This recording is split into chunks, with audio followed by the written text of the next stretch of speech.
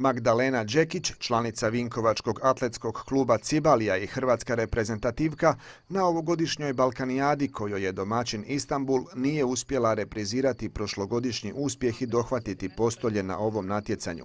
Njezino kladivo doletjelo je do razine njezina osobnog rekorda, dakle preko 55 metara, ali ta daljina ove godine bila je dostatna za četvrto mjesto. Dobrončanog odličja nedostajalo joj je nešto više od metra.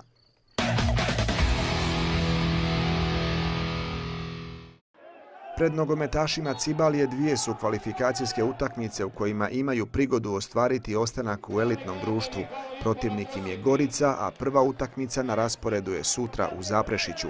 Nebesko-plavi nestrpljivo čekaju kvalifikacijski sraz protiv drugoplasiranog drugoligaša iz Velike Gorice.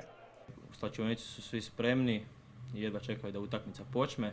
Kao puno smo pričali s trenerom i određeni pritisak se već nadzire, ali evo do utakmice mislim da će to polako ovaj, splasniti i da, da ćemo ući u utakmicu kako treba.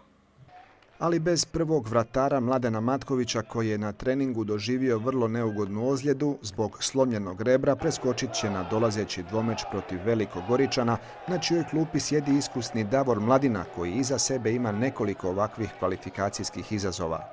Međutim, i, i, na, i ja od kad sam došao znači, ovdje za trenera, mi smo već 11 kvalifikacijskih utakmica imali, tako da smatram da smo spremni i da ćemo evo ove dvije utakmice koje nas čekaju ući maksimalno kvalitetno i da ćemo na kraju biti e, mi ti koji će se radovati, odnosno koji će izboriti ostanak u prvoj ligi.